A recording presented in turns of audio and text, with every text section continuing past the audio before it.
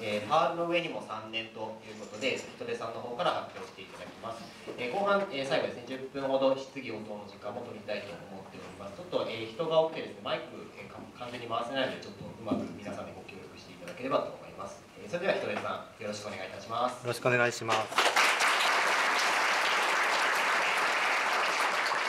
あ、あ、こんにちは。聞こえてますかね？えっと、あの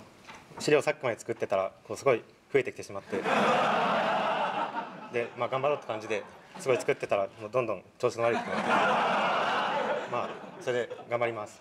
えっとパールの上にも3年ずっといけてるサービスを作り続ける技術ということでえっと普段ハテナで働いていてあの趣味はインターネットなんですけどであのこういうラボサービスとかも結構じゃんじゃん出していて大承認とか供養とか使作って使ってます。あと最近大チェッカーっていうのも作りました。でハテナブログっていうサービスを普段は作っていてこれは2011年の4月に開発開始でで4か月後の11月にベータ版が出てそれしばらく経って正式化して今あそうこれタイトルつける時にパールの上に3年って言ったんですけども気づいたら4年ぐらい経ってて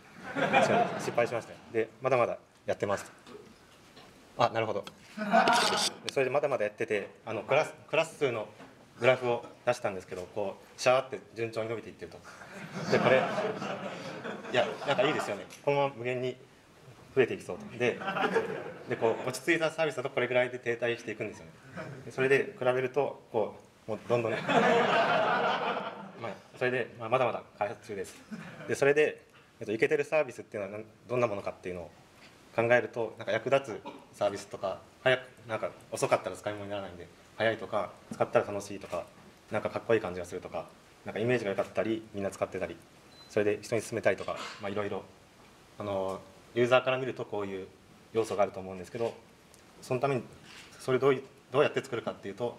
開発を継続しないといけないと。でそのためにはこうコード書くだけで迷ってたら困るんで迷わず書けることとかあとこうコードレビューとかした時にこっちの書き方こっちの書き方どっちがいいですかって毎回喧嘩してたら仕方ないんでこう一貫した指針があってそれに合わせて書くとうまくいくとかあとその指針もどんどんこう状況に合わせてアップデートしていく最新の指針を作っていくっていうのが必要だと思います。でそれであの僕は2012年の4月からずっと作ってるのででいろんな話があったので今日はいい話をして帰りたいと思います。えっとそれで今日話したいこといっぱいあってあの社内のフレームワークの歴史とブログのフレームワークどうなってるかとあとそのそれが終わったらオブジェクト思考入門が始まってそれが終わったら それが終わったらレガシーなコードの書き換えの話をしてそれが終わったらドメイン駆動設計の話をして最後なんか名前の話とか触りやすさの話とかをしようと思います。で社内フレームワークっていうのははてな歴史がある会社なんですけど2001年に Hatena っていうフレームワークがあって2004年にそれが新しくなった Hatena2 っていうで2007年に Ridge と Moco っていう大体3つぐらいありました。でまあ Hatena と Hatena2 はまあ置いといてこう Ridge と Moco っていうのがあるんですけど Ridge は Rails 風の Web アプリケーションフレームワークでモコは ActiveRecord 風の OR マッパです。あの Rails が流行ってるぐらいの時にこういうのが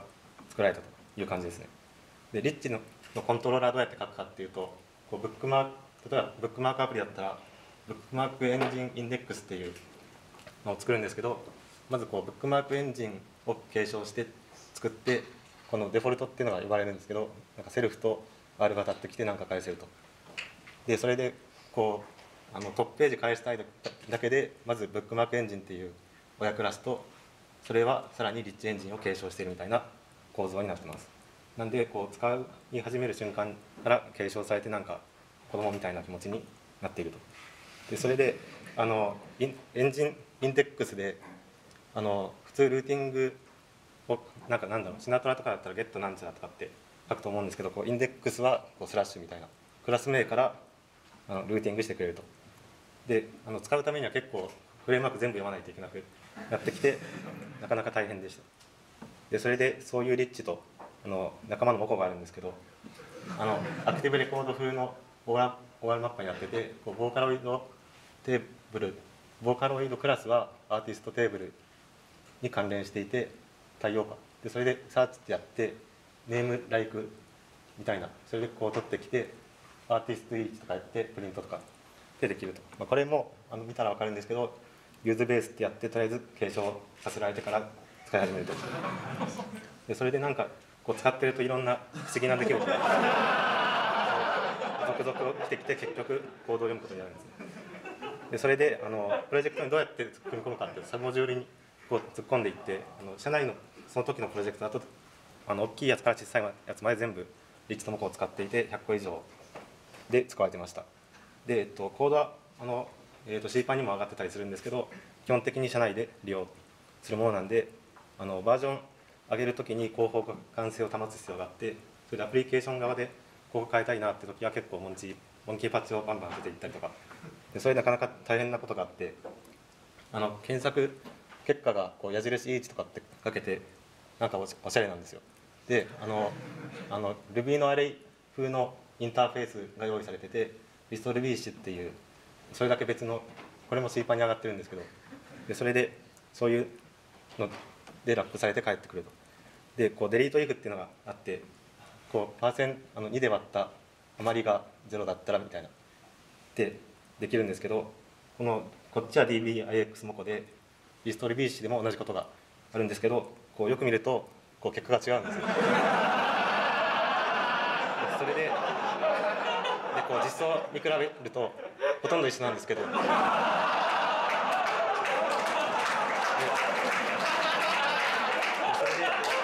これを無理やり直そうとしたりしてさらにさらに大変なことになって結局社内では delete if は使ってはいけないってことに。なりますったりしてなかなか大変でした。でそれで今思うとセマンティックなバージョニングって最近出てきててこう何点何点何でここが変わったら互換性がないよとかとかあるんでそういうのあったらよかったなとか。でなんかラはてラボっていうのがあるんですけどそっちは自由でこれはあのセリフは Rails を使って Ruby で動いたりとかあと大承認特用っていうのもシナトラで書いたりとか結構いろいろ好き勝手に自由にやってます。ということで社内フレームワークの歴史がでそれでアクタンブログのフレームワークの話なんですけど2011年にあのチョさんという人が僕の考えた最強のウェブアプリケーションフレームワークっていう発表がありましてチョさんこのこの裏で発表中なんで。それで,、まあ、それであのどういうフレームワークがいいかっていう話なんですけど読むコードが最小であることと安全であることっていうこの2つがあればいいでしょうと。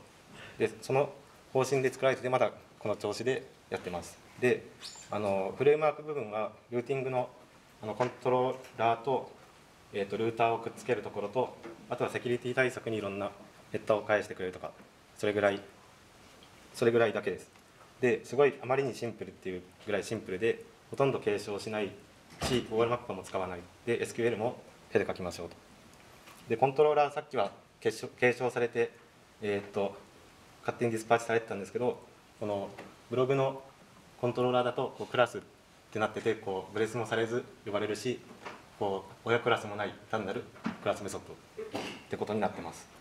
で SQL 引きたかったらこうやってこう直接バーって書いていくんですね。まあちょっとあの便利なインターフェースになってますけどとりあえず手で書いていこうと。でコントローラーはただの関数で SQL も手で書くしレンダーする HTML も手で指定しましょうと。それでそれでこうすごいシンプルに OR マップも使わないのでこう DBI で引いてきた row object に bless するだけみたいなって感じになってます。でそれでフレームワークが薄いとこう素早く開発できて最高って感じでじゃんじゃん開発されてました。でなんか3回までコッペルール3回コッペしたら共通化ルールっていうドライ3っていうかっこいい名前があるんですけどこう2回コッペしたぐらいで共通化していくとだんだん複雑さに複雑になっていくんでこう過剰な抽象化を避けようっていうことでそういうルールがあって雰囲気結構良さそうなんですけどあのエンジニアが再任になった瞬間に こう同時にコッペしてコッペされた SQL がバグってるみたいな。それでそれなんかこうそれで3回全部直していくみたいな。っていうのがあって結構大変でした。あとあとこうデータのそんなそんな笑わなくていいそれで、えっと、データの保存の話があってこうコントローラーからアップデートとかインサートとかしていくと結構こう保存するところっていろんな面から使うんでこう結構すぐまとめることになるんですけどこう指針がないんでコントローラーになんかセーブっていう便利関数を作ったりとかあのモデルにセーブメソッドを足したりとかいろんな流派があってそれで結構困ると。でだんだんやっていくうちにこうモデルとビュートコントローラーとコッペソーみたいになんかこうだんだんなんかできてる。できてくるわけですね。それでこうなんか会場を作ろうって言ってこうコモンっていうでそういったコモンエントリーだったら記事に関するソースのうち3回コッペされたコードが使ってでこういうのやってはどうですかとかってなんか嫌な感がします。でなんか顧問だとゴミ置き場になりそうでなんかないかなっていう時にサービスって名前どうかって言って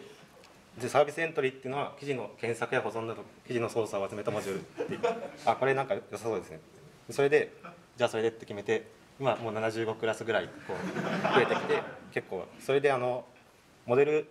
モデルっていうこうテーブルに対応したクラスよりも多いんですよね。であのテーブル単位じゃないっていうことです。でサービスっていうのはこうえー、となんだっけドメイン駆動設計的に呼ぶとリポジトリとかアプリケーションサービスっていうのに対応するっていうことが後で分かる。マジかって感じですけど。でそれでサービスどうやって使うかっていうと,、えー、と Find User by Name とかってやってこうこう DBI のインスタンスとこう名前を足すとなんかユーザーが返ってくると。とかこうブログのエントリー引きたいってなったらこうブログはこれでこう公開された記事を3件くださいとか言って。なんかこう結構おしゃれな感じに呼べるんですけどその中身を見るとまあ依然として SQL がペタッと書かれている。でそれでブログの登録とかしてするとこうこうやって保存したいっていう結構かっこいいかっこいいかどうか知らないですけど、まあ、こういうインターフェースだけど中身はインサートというふうに実装されてます。でインソインサートでも気持ちは充実したメソッドであるっていうそういう気持ちが大事でこうレジスターニューブログとかジョインブログメンバーとかポストニューエントリーとかなんかこういう感じでこうなんかかっこいい名前つけるのが大事。でクリエイトだとなんかこうクラットアプリケーションみたいになってきてなんかあんまりなんかかっこよくないですよね。なんか自動自動生成されたみたいな。でそれで、まあ、サービスになんかこの名前のエントリーくださいって言ったらモデルが返ってきたりこういうこのオブジェクト保存してくれって言ったらしましたってなったりなんかこういうことやっといてって言うとなんかやってくれみたいな。でそれでサービスも先ほど同様に規定クラスとかなしでというのもこうなんかサービスベースとかって作ってそれを継承していくとこうこう4年とかやってるとだんだん要件が変わってきたりするんでこう肥大化していくんで規定クラスなしでやってます。でテーブルと1対1にせず分けていこうっていう話があってこう主なテーブルユーザーブログなんでユーザーがいてブログがあって記事があってコメントみたいな。でなこの4つに全部入れるとすごいでかくなっていってしまうんでこう機能ごとにこう細かく分けて作っていく。のが大事です。であとはあの呼び出し側から見るとオブジェクト同士が普通に触れ合ってるみたいななんか可愛い可愛らしい世界観になっているように見えるのが大事でその結果で結果裏で MySQL に保存されてるだけという気持ちでこうやって Find User by Name ってやって帰ってくるのあのこれだけ見ると MySQL とはわからないですよね。Web API かもしれないしなんか MongoDB から出てくるかもしれないっていうようなサービスが出てきたことでコントローラーはすっきりしました。でサービスに切り出したのもう一ついい点があってどこからでも呼べるっていうのがあってこうテストからでも呼べるしバッチスクリプトとかこう確実のスクリプトからでも同じように呼べていいですねと。でクラスメソッド。最高。最高だけどこれはオブジェクト指向なのかこういう疑問にぶち当たってその頃オブジェクト指向入門という本を読んでました。こう上下巻なんですけどこれが最高っていう最高の本であの現地オブジェクトオリエンティッドソフトウェアコンストラクションっていうこうなんか全然入門じゃないんですよ。で日本語にするだけで入門ってついて上下で1500ページあってそれでとにかく最高。でこうで最初から最後まで最高なんですけどこう第11章契約による設計がよりあの最高中の最高の章でなんかいろんなことを教えてくれるんですけど事前条件と事後条件っていうルーチンの性質に表すルーチンの性質を表す条件と普遍表明っていうクラスの性質を表すものが出てきてこういうのを使ってクラスと顧客の間の関係はお互いの権利と義務を表した正式な同意とみなすことができるっていう気持ちでオブジェクトたちが触れ合っていったり設計していったりするっていうそれでこう行為っていうのが出てきてこうこれ A が関数なんですけど A が実行される時はこう P の時に始まって Q になった時に終わると。具体的にこう、えー、と X に5を足したいって時こう、えー、と X が Q より大きい時に終わったら13以上これあの15の間違いじゃなくてこれなんか同感どんな時でも13以上になってますよね。なんでこうアサーションとかじゃなくてこんなことはありますよっていう条件が集合していくって感じです。で事前条件っていうのがルーチンの呼び出し前に顧客が顧客っていうのはあの呼び出す側ですね。が満たさなければならない条件で事後条件っていうのはルーチンの呼び出し後に供給者が満たさなければならない条件と。で前と後でこう顧客と供給者で責任が分かれているで例えばサイズに上限があるスタックとかっていうのを考えるとスタックプッシュアイテムとかってやると、まあ、上限があるんでまず事前条件はスタックに空きがあることとなって自己条件はスタックにアイテムが1個増えていてサイズが1個増えていてスタックは空ではない。これが満たされこういうスタックこれはスタックの性質なんですけどこう事前条件と自己条件に分けて考えましょうとそれでお互いそういうことを守っていくのを約束として責任外のことをチェックしないふうに作りましょうと。で例えばあのなんだろう C で C でファイル開いた時ってこうエラーちゃんと開けたかどうかチェックしてるんですけどお互いを信用すると必ず開けて返ってくるか例外が出てくるかどっちかみたいな。ってなるとちょっとすっきりしますよね。でお互い信頼することでコードがすっきりするし変なエラーが出た時にどっちが悪いのかが明らかになってくる。それでクラス不表明というのがあってこれはクラスインスタンスがずっと満たさなければならない条件となります。でオブジェクトの一生っていうのを考えるとインスタンスが出てきてこう最初の情景状態がこう S1 っていうやつでその A に F っていうメソッドを読んだらまた状態が変わってまたどんどん変わっていくっていうっ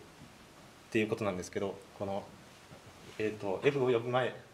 に事前条件を満たさなければならないその呼び出し側が。でその F から終わった時には、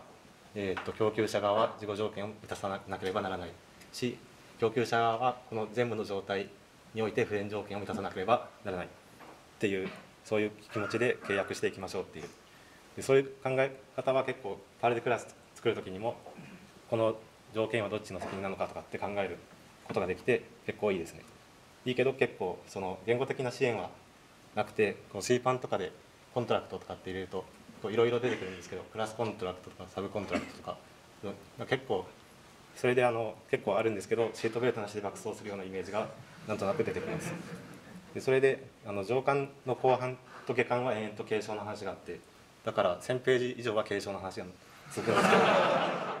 それでこの本によると継承は11種類あってこのこのどれかに必ず入るとそうじゃなければ間違ってる間違ってるかなんかこのちょ本本でそれその章を追加するから教えてくれっていうそういうぐらい厳しいことが書かれていて、まあ、それでまあオジェクト思考が難しいと。でこう難しさのピラミッドみたいなのを考えてみると何もしないのがすごい簡単。から上がっていくと関数作るよりはクラス作る方が難しいしそれよりは継承する方が難しい。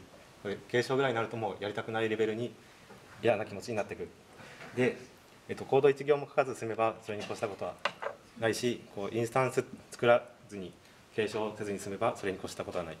ということで必要なオブジェクト生成とか必要ない、えー、と継承はやめて最小限に努めましょうっていうことでやってます。でプロジェクト中にどれぐらい継承してるかっていうのを調べてきたんですけどユーズペアレントがユーズベースしてる。何フ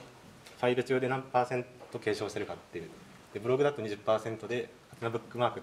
はさっきのリッチモコ今使ってるんですけどそれだと75%ぐらいっていう感じで結構変わってきたなって感じです。でアプリケーション全体で設計使えるものを設計して使い続けるの難しいのでこうなんでこうなるべくシンプルにしていきたいので状態がなくて済むものに状態を与えてはいけない。しかしクラスメソッドなら心配ない。のでよかったですねっていう。でオブジェクト指向を学んだ上で複雑な事態を避けるという気持ちが大事です。でそれでこうやこうどんどんクラスメソッドをそういう自信を得て作ってたんですけどこうなんかだんだん複雑なことをすると引数がどんどん増えていくっていうそういう次の問題に当たりましたこうポストエントリーでポストってあってなんか記事保存できるといいんですけどこ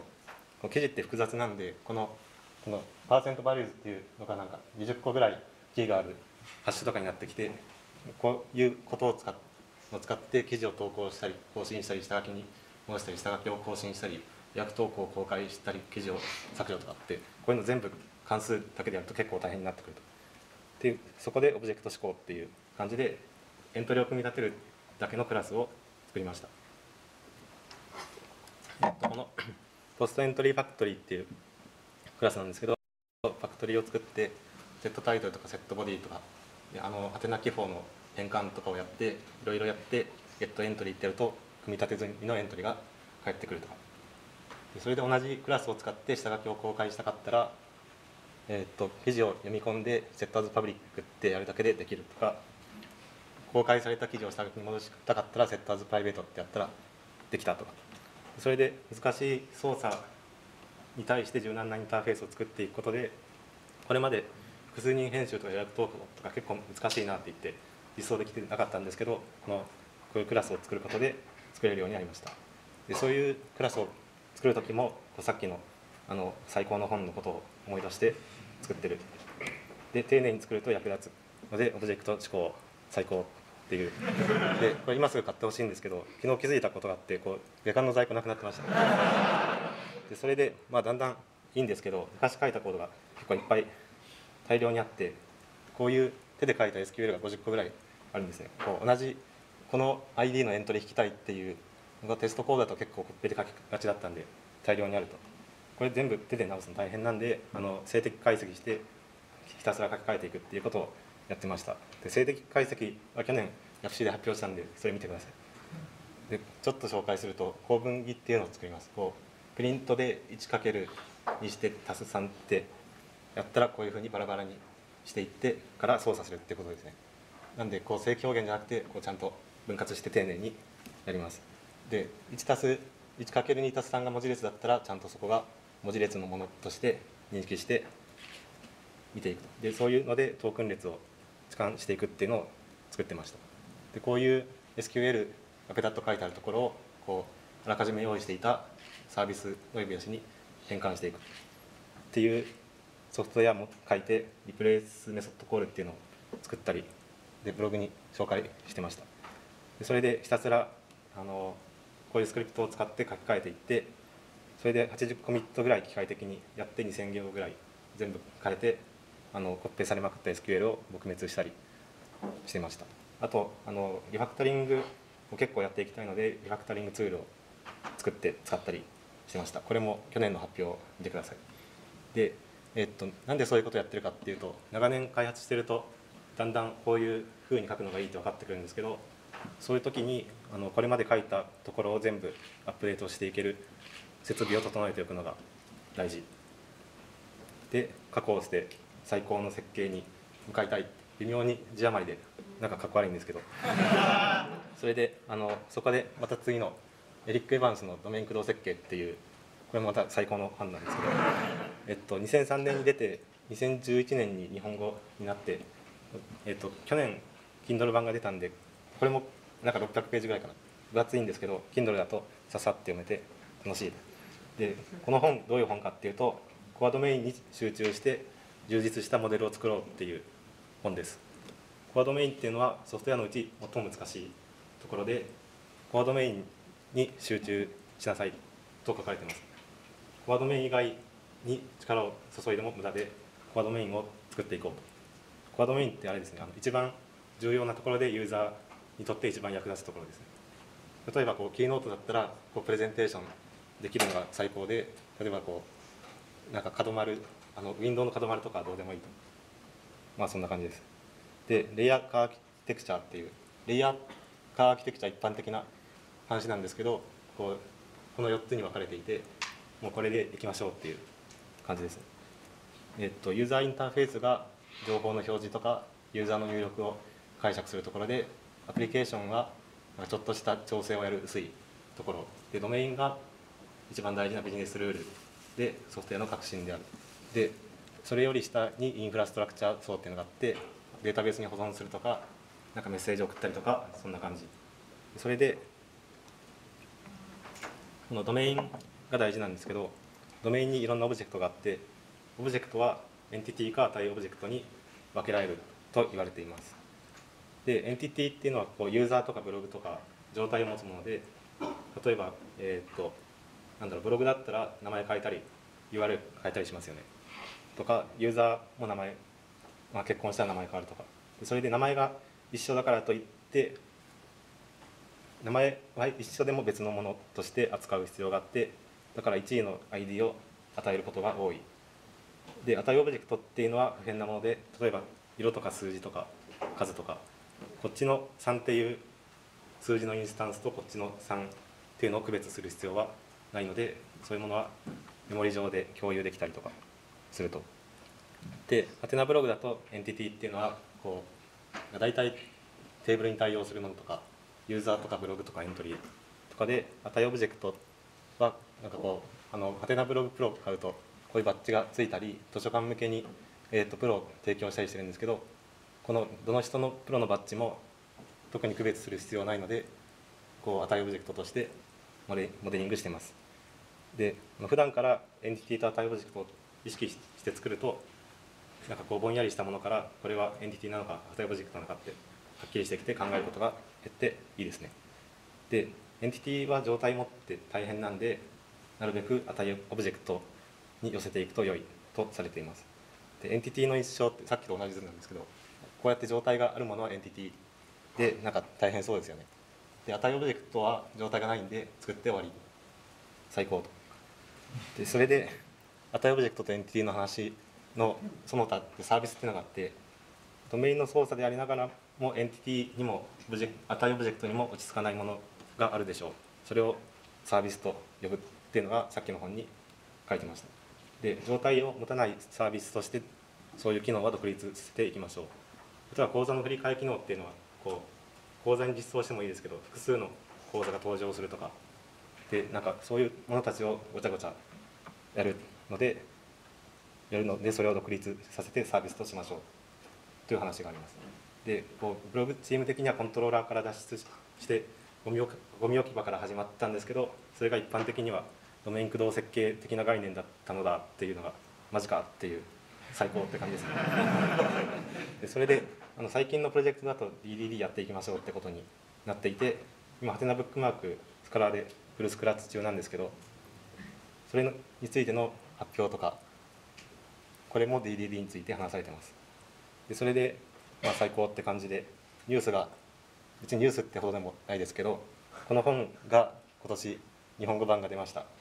最高。えっと「実践ドメイン駆動設計」っていう本でこれはあのドメイン駆動設計は結構ぼんやりしたなんか意識の高い本だったんですけどこれは具体的な実装例とかが載っていて Java と Hibernate っていう OR マッパとか MongoDB に保存してみようとかでそういう実装が載ってたりして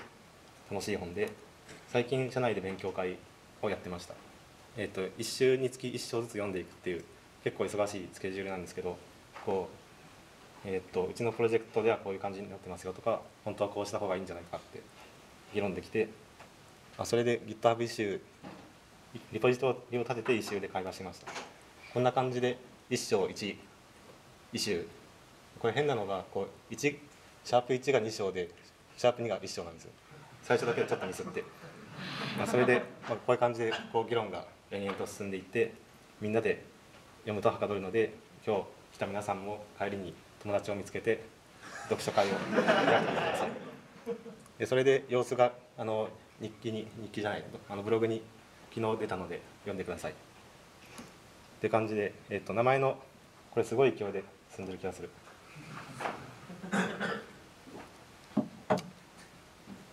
それで、えっと、ドメイン駆動設計名前が大事と言われていていびきたす言語っていうものが登場します。で、えっと、いびきたす言語は何かっていうとチーム内で会話するための言語で普段の会話でも使うしそれがコード上にも出てくる。で全員で使う。で全員が同じ言葉で話せると結構いいことがあって例えばこう客が醤油って言うけど職人は紫って呼んでる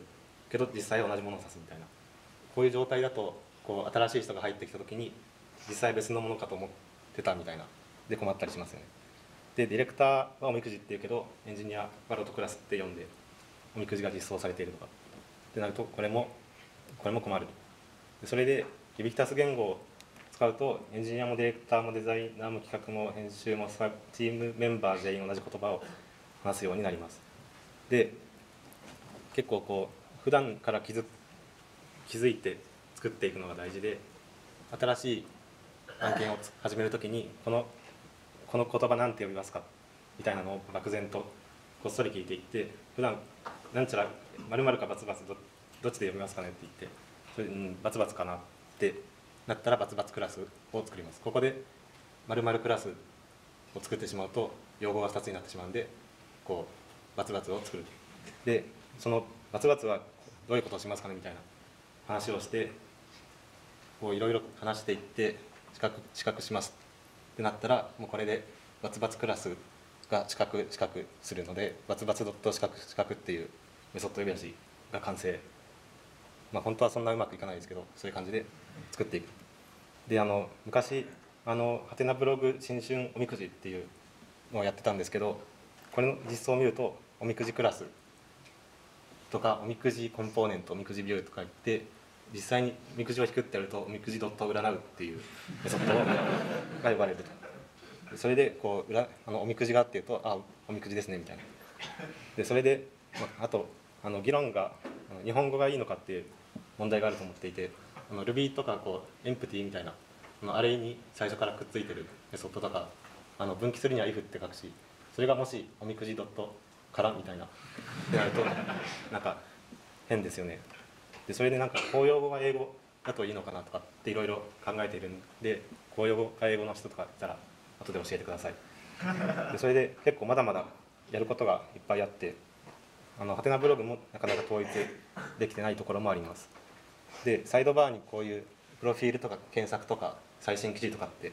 置けるんですけどこうソースコード上でウィジェットって書いてるところがあったりモジュールって書いてあるところがあったり。これどっちだと思いますかね？アンケートしますか？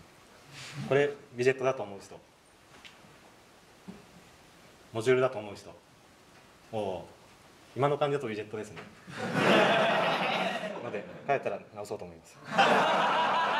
それそれであのプロジェクト名ハテナブログっていうんですけどあのこれ開発始めた時はサービス名決まってなかったんですね。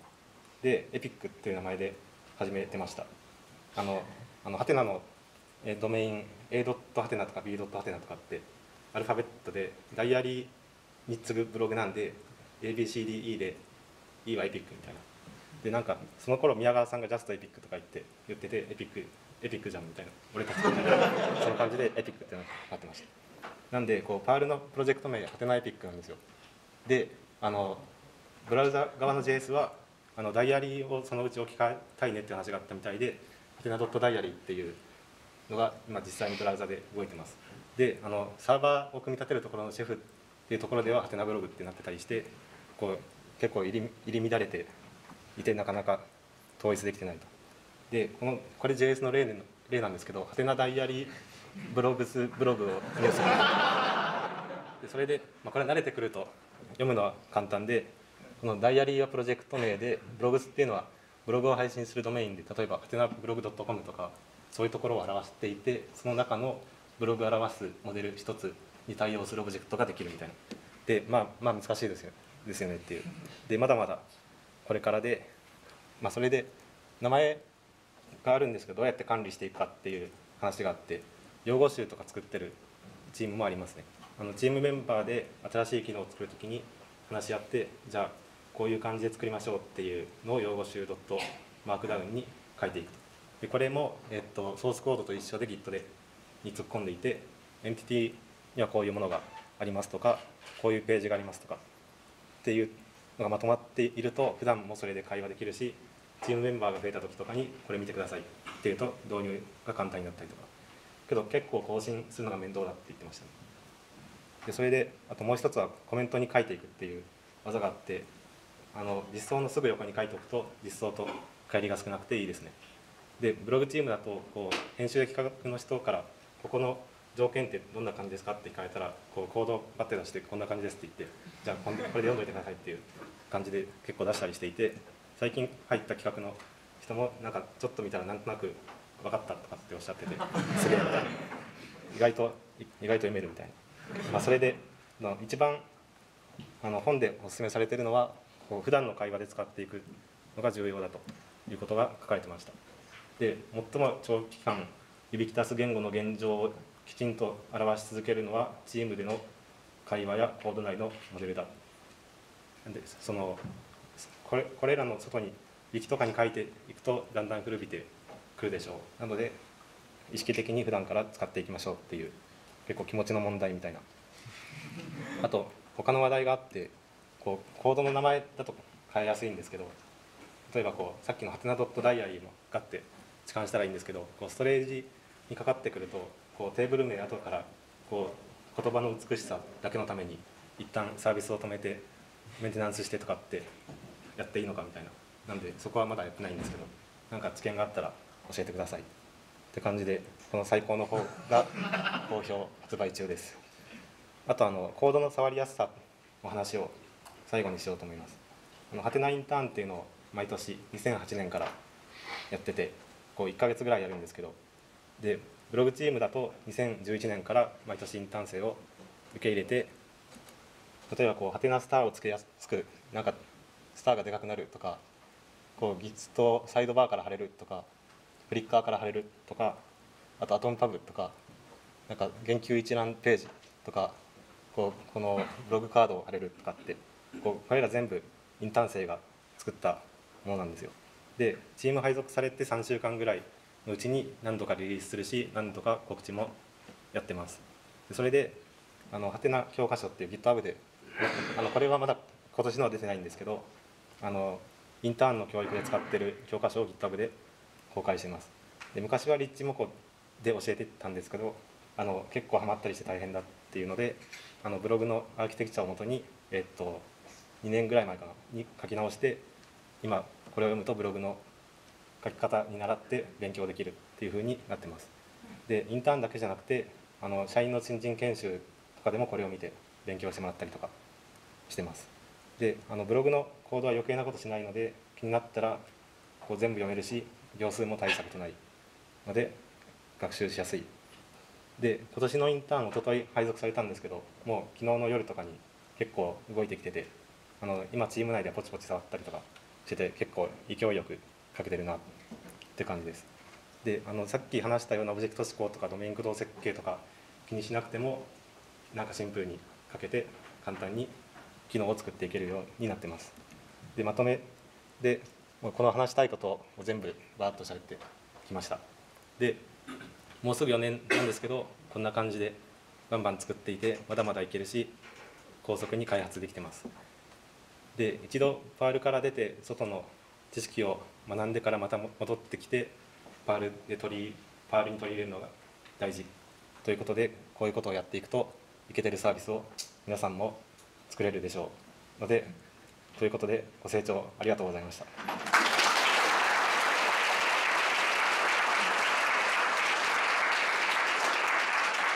清聴ありがとうございました。それでは質疑応答の時間にしたいと思いますので、質問のある方挙手してください。後ろの方は可能な限りマイク回しますが、ちょっと前の方は、えっと、大きな声で質問していただければと思いますが、どなたかいらっしゃいますか。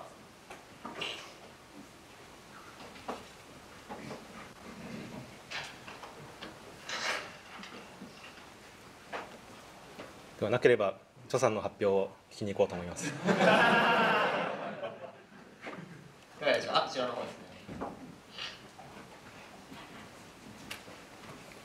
あの個人的な質問ですけど、指きたす言語とか使ってると、はないんかその英語ベースだったりすると、なんかみんなの喋りがどんどんルー語とか大人語とかそんな感じになって、会話がなんか結構辛くなっていくような感じもするんですけども、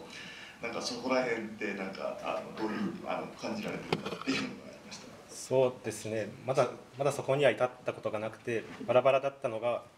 なんだろう、まあ、若干変な変なカタカナ変なカタカナ語が日本語に入ってくる感はあるんですけどそれまでもこうソフトウェアについて話す時って結構カタカナ語で喋ることが多かったのでまだそんな困ってないですねなんかこう徹底していくとそうなるかもしれないですわかりました。ありがとうございます。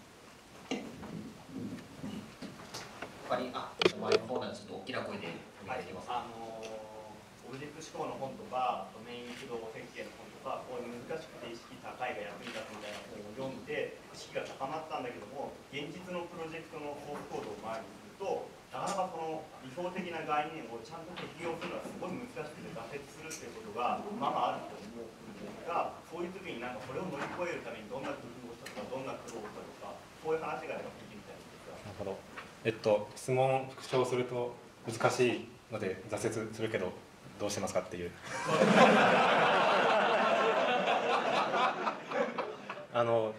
あのそれについてはドメイン駆動設計にすごいいいことが書いてあってあのあの歯を食いしばって実装しろって書いてます。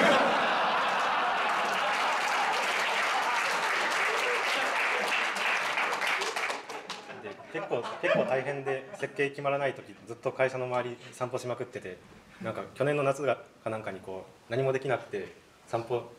あの散歩に出たらこう祇園祭りやっててこう屋台が出てきてなんでこんな世界は屋台とかやってるのにこんなぐるぐる回ってるのみたいなそういう気持ちになってから歯歯を食い食いしばってやってました。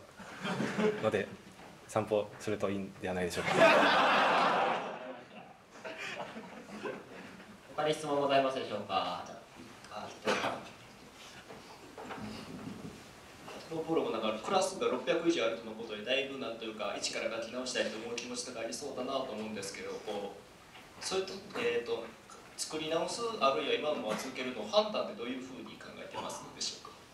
ハテナブログのクラスが600あるんですけどい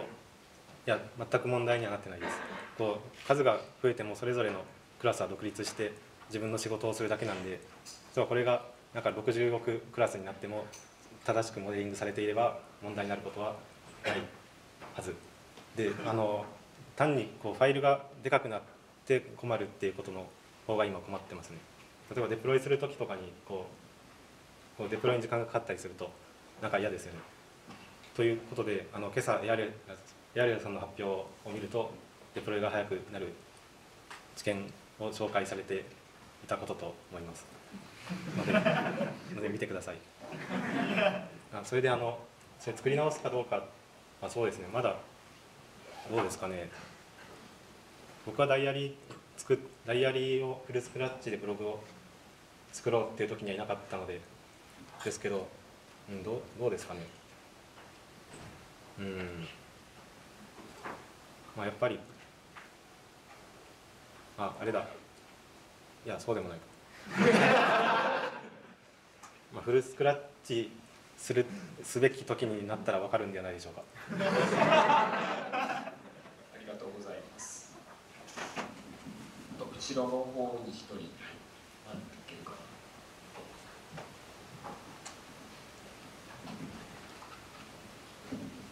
なあの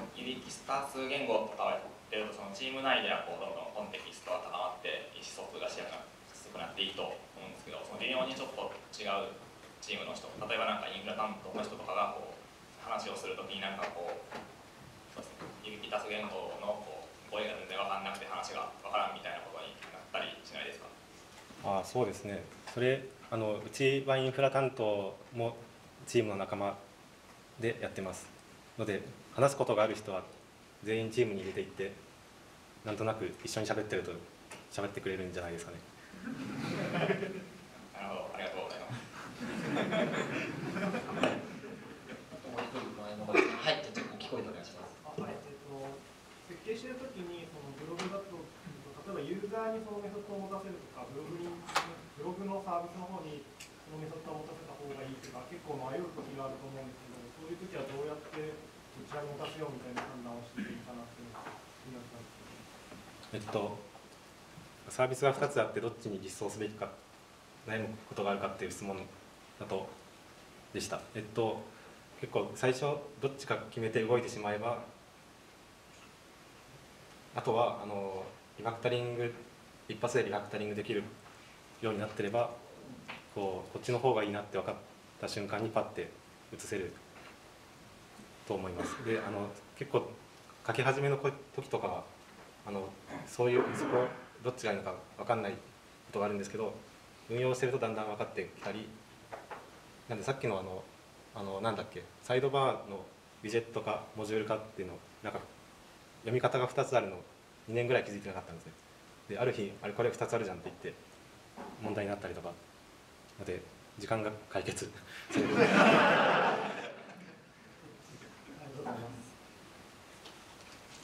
他に質問のある方いますか、えー、じゃあ後ろの方先にお願いします。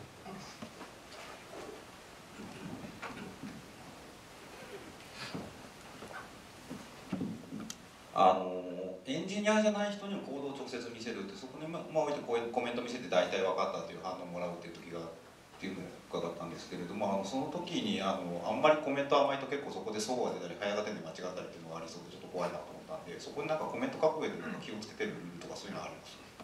うんコメント書く上で気をつけることはそうですね。あそうだあのオブジェクト思考入門の下巻に良いコメントの書き方っていう章章があります。買って読みます、ああとはあれですねこう見せるときにちゃんとそこは合ってるか見てから見せるのが大事だと思います。はい。はい。えー、と前の方であすいますかね。はい。えっとですね、あのレガシーコードを書き直すときにですね、あの周りの人がやっぱりやめようよとかこうなったりとか、まあ、そういう局面があるのかどうなのかと、それからそのまあそういったときにこうどうやってこう運動を取ってやられてるのかなというのがお聞きしたいです。えっと、レガシーコードを書き直すときに反対されるかどうかっていう話なんですけど反対はそんなにされなくてまず綺麗なコードにならないと動かせないよねみたいな雰囲気は会社全体であると思います。けどあまりにひどい時は、まあ、ここはこんなもんだからねみたいな気持ちでこうひどい状態のままちょろっと書き換えて動かしてしまうみたいなこともありますね。けどブログだとそんな悪いところはまだないのでまだ大丈夫だと思います。でえっとまあそれぐらいですかね。いやエンジニア以外の人にもここのコードの状況が悪いので書き直しますって言ったらもう通じるような雰囲気になっています。ありがとうございます。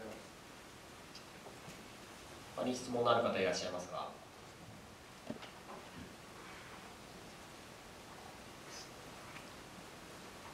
自分も一つ聞いていいですか、あはい。えっと、結構そういうモノリシアプリをばらすときに、まあ、割と最近入れなくてマイクロサービスって呼ばれてるんですけどもサービスを、まあ、もう全然別のものに分解しちゃっている方も多分あると思っていて、まあ、そういうやり方と多分今やられてるコードの中でまあ分解しているようなイメージなのかなと思って聞いてたんですけど、まあ、その辺のメリットデメリットとかってどのようにお考えっと、マイクロサービス化は今も社内であれこれやってます。えっと、さっき出した大チェッカーっていうサービスだと、えっと、RSS のサーバーはクラクローラーを持っていなくてクローラーは別のソフトウェアになっていてそこのあのクロール結果を投げるとかスケジュールを持ってくるみたいな API に分離されてたりあと社外のリソースを取りに行くだけのマイクロサービスとかもいてそこが適切にキャッシュとかをいい感じにやってくれるとか。で結構やってるんですけど結構難しくてあのバラバラになってるとテストするときに全部立ち上げないといけないとか。とか、えー、とこうデプロイするときにこうここからここから先の依存全部バチッと入れ替えないといけないのでサーバーもう1セットずつ作るのかとかいろいろ難しいところはあるんですけど結構流行ってるのでみんなやってみてる。し まあずっとやってたらだんだんよく分かってくるんじゃないですかね。ありがとうございます。他に質問ある方いらっしゃいますでしょうか？